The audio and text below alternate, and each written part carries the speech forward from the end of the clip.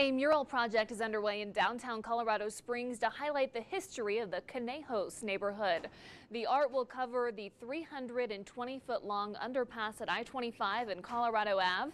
It's all part of the Downtown Development Authority's Gateways Initiative and their partnership with the Una Familia exhibit at the Colorado Springs Pioneer Museum. Mauricio Ramirez is the artist behind the mural. He says the project aims to take viewers back in time.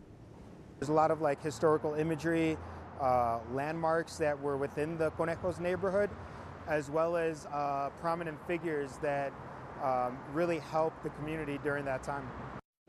America the Beautiful Park is now where the Conejos neighborhood once was. It was described as a diverse and working class community.